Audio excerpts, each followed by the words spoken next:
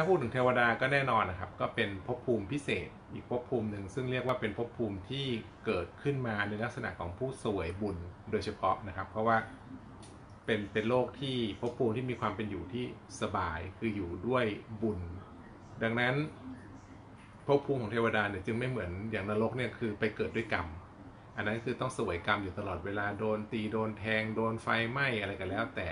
เรื่องมนุษย์เราเนี่ยก็ถือว่า เกิดมาทั้งทั้งกรรมทั้งบุญนะครับ เพราะว่าชีวิตเราก็มีทั้งสุขบ้างทุกข์บ้างบางครั้งถูกหวยก็มีบุญบางครั้งโดนโจรปล้นก็ด้วยกรรมเก่าอะไรประมาณนี้ แต่ถ้าเกิดเทวดาเนี่ยถือว่าเป็นจังหวะสวยบุญ เป็นจังหวะสวยบุญนะครับ ถึงได้ไปเกิดเป็นเทวดา ทีนี้เมื่อเป็นจังหวะสวยบุญเนี่ยมันก็จึงทำให้ในภพภูมิของเทวดาเนี่ยมันแทบจะไม่มีความทุกข์แบบที่มนุษย์เราเป็น โดยความทุกข์หลักๆสำคัญของมนุษย์นะครับ ก็คือความทุกข์จากร่างกายเรานี่แหละ